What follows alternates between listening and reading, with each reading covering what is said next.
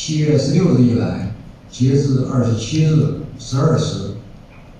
据国家自然灾害灾情管理系统统计，此轮强降雨造成全省一百五十个县市区、一千五百七十三个乡镇、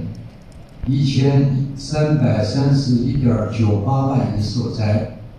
因灾遇难七十一人，农作物受灾面积一千零一十七点一千公顷，成灾面积四百五十七点四千公顷，绝收面积一百四十八点一千公顷，倒塌房屋一点五五万户，四点八五万间，严重损坏房屋是三点六五万户，十三点二一万间，一般损坏房屋十一点十六万户，三十一点十二万间。目前灾情正在进一步核查、评估、统计之中。